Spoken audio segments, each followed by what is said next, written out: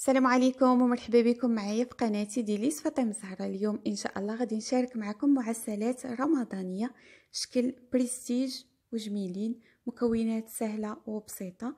نتمنى أخواتي أنهم ينالوا إعجابكم. سبق لي وقدمتهم في القناة الأولى ونالوا استحسان وإعجاب العديد من الأخوات. آه بالنسبة للشكل فهو عبارة عن سليلة. ممكن ديروا barquettes كيجي الشكل تاعهم طويل. نمروا بسم الله على بركة الله للمكونات عندي كاس من اللوز اللي مطحون بالقشرة تاعو. كاس قل ربع من الماء وماء الزهر. 250 غرام تاع جلجلان محمر غير شوية. 300 غرام من الدقيق رشة من الملح 2 ملعق من الزيت آه صفار بيضة ملعقة كبيرة من الخل اليانسون القرفة ملعقة صغيرة من ال baking powder وعندنا 2 ملعق كبيرة مملوءة. من الزبدة اللي ذوبتها على شكل نوازيت؟ هنا الدقيق كيف ما ذكرت أخواتي 300 غرام مع رشيشة الملحة مع الجلجلان 250 غرام. هادو المكونات نتاع البليغة المغربية اصيليه فأنا استخدمتهم في هاد الطويصات. ضفت عليهم فقط اللوز. إذا بغيتوا أنكم تضيفوا أخواتي ما بغيتوش فلكم الاختيار. بالنسبة للكاس اللي عيرت به فهو الكاس تاع العنبة. 200 ملي اللي كيعير 200 ملي بالسوائل هذا الكاس الكبير. كاين الكاس الصغير كيعير 150 ملي ضفت اليانسون القرفة baking powder ملعقة نتاع الخل الكبيره باش كتجينا آه، مقرمشة ورطبة في نفس الوقت. زيت 2 ملاعق صفار بيضة وعندنا آه، زبدة نوازيت. بالنسبة للزبدة غادي نترك لكم الرابط تاع شباكية. أنا آه، وريت الشكل تاعها كيفاش. هنا غادي نذكر لكم أنني حطيتها آه، فوق النار على نار هادية حتى كيتبخر داك الحليب اللي فيها اولا الماء وكيتغير اللون ما كنساوش عليها باش ما تحرقش معانا. كنصفيوها وهذه هي زبدة نوازيت. هنا عندي كاس قل ربع اللي احتاجيت بين الماء وماء الزهر. الماء كان عندي دافي وضفت عليه ماء الزهر آه، يعني النص بالنص. غادي نجمع العجين.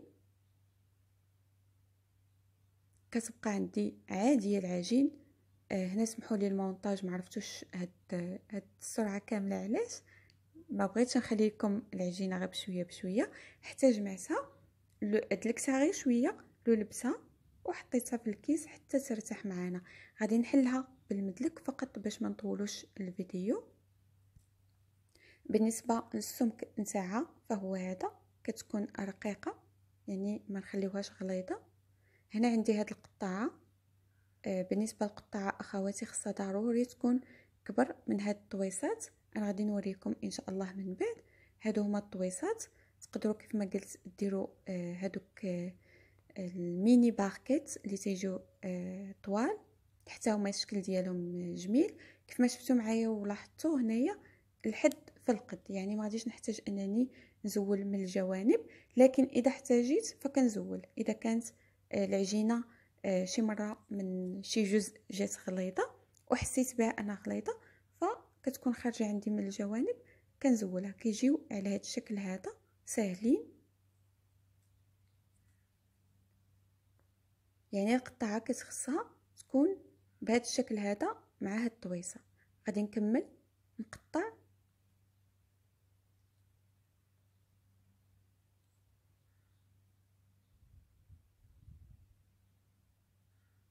بالنسبة للمكونات أخواتي فكيف ما ذكرت هما نتاع البليغة تقدروا تعتمدوا أي مكونات عندكم آه نتاع البليغة. أنا هنايا عطيت هاد المقادير كيجيو جميلين كيجيو رطبين. كيف ما ذكرت هنا إذا كانت العجينة عندنا آه غليظة غير شوية اولا فايتة آه طويصة كنقادوها كنزولوا الزوائد.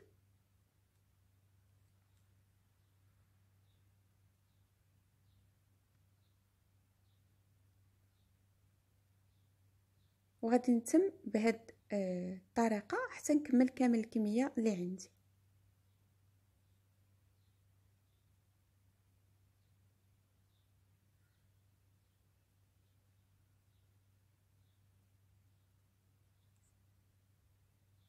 غادي نكون مسخنة الزيت على درجة حرارة عالية وكنسقط فيهم هاد الطويصات بهاد الطريقة هذه يعني الطويصة كتكون آه، الحديدة من التحت وهما العجينة من الفوق.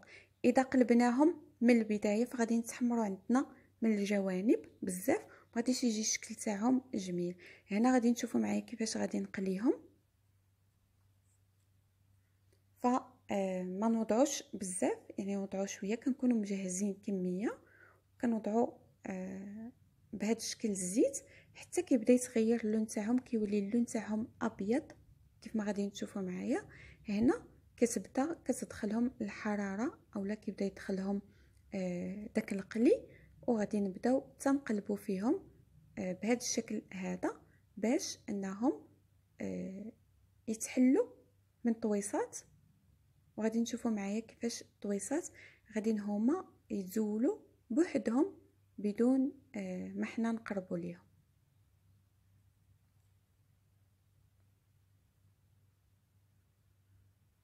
هنا ضروري نستعنوا أخواتي بشوكة اولا باي حاجة باش أننا نعاونوا نقلبوا بهم هاد الطويصات هادو. فكيف ما واضح البعض منهم ها هويا بدا كيتزول. غادي نحاول أنني نجيب فورشيت ونجيبو بلا يعني نجيبو شي حاجة حدانا باش نبداو كنزولوهم وكنوضعوهم مباشرة في البلا لأنهم مازالين سخان.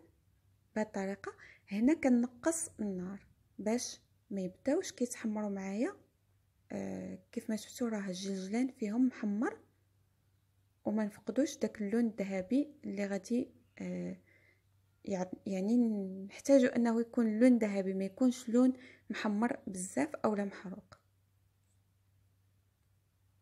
فالنار دائما كتكون وسط كنبقاو كنزولوا في هاد الطويصات يعني فقط كتدخلهم الحرارة كيزولوا بوحدهم. واللي ما تزولاتش كنخليوها حتى كنشوفوها بدات كتحيد كنبقاو كنقلبوا فيهم يعني من الجهات حتى كيتحمروا معنا آه، اللون تاعهم كيولي ذهبي.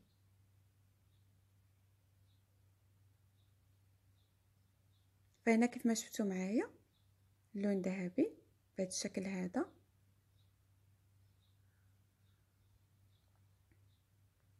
يعني أخواتي ما نساوش عليهم باش ما يتحمروش ويتحرقوا معنا وكيجي الشكل تاعهم ما زوينش. غادي نكمل كامل الكمية بنفس الطريقة وهادو غادي نحطهم في العسل. العسل أخواتي أنا سبق لي وحطيته في لاشين غادي نترك لكم الرابط وغادي نخليهم آه يعني حتى لو أننا نضيفوا عليهم آه كمية وحدة أخرى غادي نخليهم حتى آه يعني تعمر عندي هاد البول هادي كاملة ماشي بحال الشباك يعني فقط كنقليو القلية الأولى وكنزولوها لا هادو غادي نخليهم.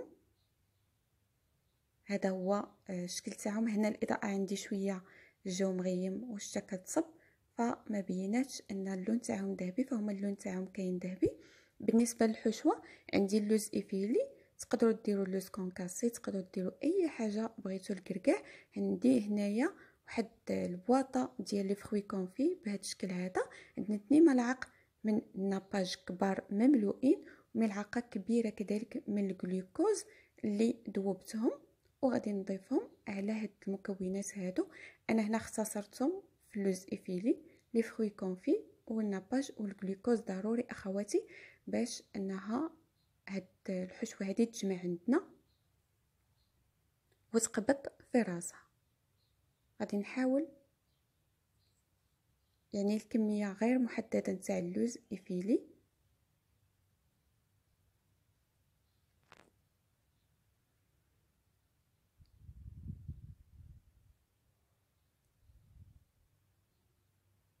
وهنا آه سمحوا لي معليش هنايا الإضاءة شوية آه جو مغيم فبان اللون تاعهم آه هكا غامق غادي نبدأ.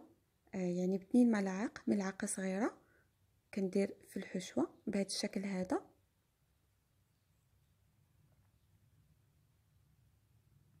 نسيت ما قلت لكمش أننا ملي كنزولوهم آه من العسل كنوضعوهم في شي آه يعني آه شبيكة اولا في شي حاجة باش كيتسقطروا من داك العسل تاعهم ما كيبقاوش عندنا العسل كمية كبيرة في الوسط تاعهم.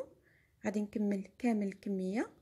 بهذا الشكل هذا كيف ما شفتوا الحشوه كتجي جميلة كيجي اللون تاعها رائع بالألوان ديال لي فروي كونفي. بالنسبة لي أنا وضعتهم في في كويغطات صغار بيضين باش يبقاو آه، جميلين. هنا آه، هذا هو الشكل تاعهم. كيف ما شفتوا كيف ما ذكرت أخواتي عندي الجو مغيم والشتا كتصب. فما بانش الشكل ديالهم هنا. وكان هذا أخواتي هو الشكل النهائي نتاع المعسلات الرمضانية. نتمنى أنهم ينالوا إعجابكم. إذا عجبكم الفيديو ديروا اشتراك في القناة مع تفعيل الجرس. وكنقول لكم اعواشركم مبروكة. وشهر رمضان إن شاء الله يدخل علينا. وعليكم بالصحه والسلامة. وطول العمر.